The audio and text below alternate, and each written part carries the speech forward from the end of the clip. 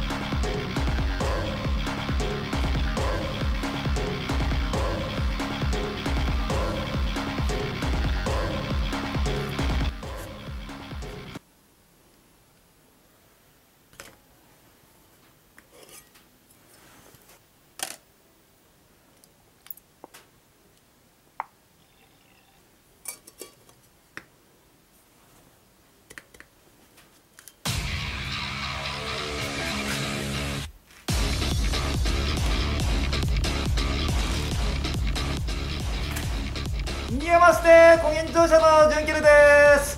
ご視聴いただきありがとうございます。それではまずはキャリートラックの方から塗装準備ができましたのでこれから塗っていきます。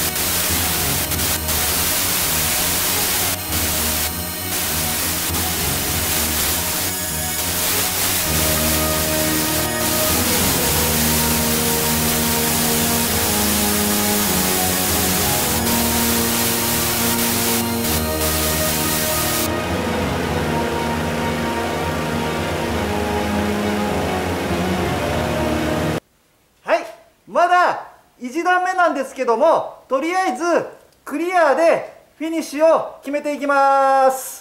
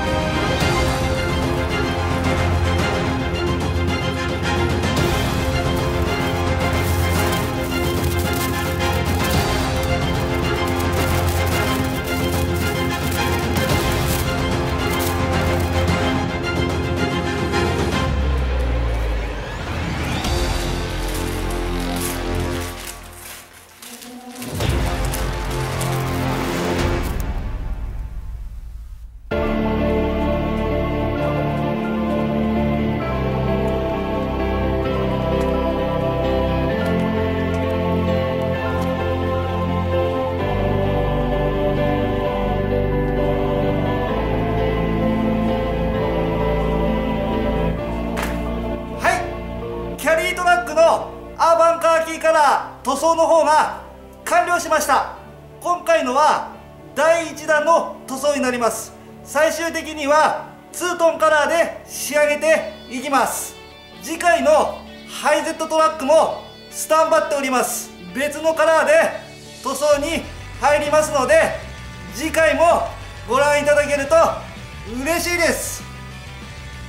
それではまたハイゼットトラックでお会いしましょう。どんなことでも構わないんでご感想コメントいただけるとありがたいです。